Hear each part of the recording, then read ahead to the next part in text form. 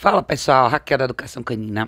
Nesse videozinho eu quero mostrar para vocês um outro exercício de desafio que eu trouxe para Lucy. Como vocês sabem, ela é uma cachorra bem segura, então eu tô trazendo vários elementos assim para exercícios dentro de casa e dessa vez eu trouxe a vassoura, né? Dá para ver pela primeira rodada aí do vídeo que ela fica bem tensa com isso.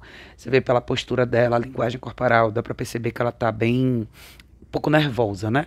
Então, nessa primeira fase, a primeira rodada, eu pus a prong nela, pus a guia, e a minha única expectativa é que ela não tente fugir, que é o procedimento padrão dela. Então, eu vou varrer a casa como eu faço todos os dias, e simplesmente coloquei ela aí. A ideia é ela tolerar, tá um pouco mais próxima desse elemento que causa essa insegurança dela. Ela tem isso em várias situações diferentes, então ela tá aqui para isso, para a gente enfrentar essa insegurança dela e trabalhar em cima disso. Então, muita gente é, hesita, né, quando vê o cachorro dessa forma, e as pessoas acabam não passando a vassoura, não fazendo o que tem que ser feito nessa situação, justamente por conta das expressões do cachorro. Mas se o cachorro não passa por isso, ele nunca supera isso. Então nada demais está acontecendo com ela, ela está segura ali, não tem vassoura em cima dela, não tem nada. Então agora é a segunda rodada. Eu deixei ela ali um pouquinho mais de tempo, deixei ela descansar e peguei a vassoura de novo. Então, dá para ver que na segunda rodada ela já está um pouco menos nervosa. Então ela já deitou, ela já está um pouco mais à vontade.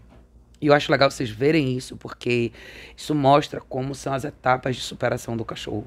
Como é pra gente também, a gente precisa enfrentar as coisas e não fugir delas, né? Então, quando a gente está de frente com um desafio difícil, muitas vezes nossa primeira impressão é ruim. Como vocês viram agora, eu balancei um pouco a vassoura, ela ficou um pouco mais nervosa. Então, não pare o exercício por conta disso. Eu estou advogando por ela, pelo espaço e segurança dela. Então, ela, o que eu estou mostrando para ela? Relaxe, passe por isso, está tudo bem. Então, depois ela relaxou um pouco mais, eu peguei o para passar, que é um outro desafio para ela. Então, ela tem medo de aspirador, de coisas que se movem, tudo nessa, nessa direção, né? Então, é importante trabalhar isso um pouquinho todo dia até que isso se torne normal ou que o cachorro pelo menos neutralize, que é o que eu quero dela.